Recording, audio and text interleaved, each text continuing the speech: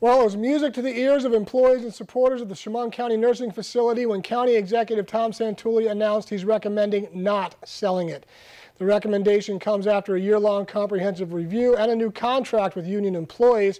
Santulli says the new labor agreement and reorganization of therapy services will bring in an estimated $2 million a year. His recommendation is based on one of two options laid out by the county legislature. Santulli re rejected the other option, which is to sell, after the county got seven bids on the facility ranging from 7.5 million to $10 million. Actually, we're going to enhance our revenues and keep uh, our facility uh, a, a county facility and keep our employees county employees.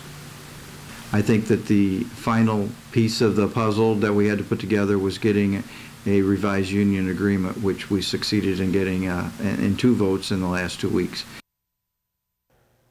Santulli's recommendation goes to the county legislature for a vote on Tuesday.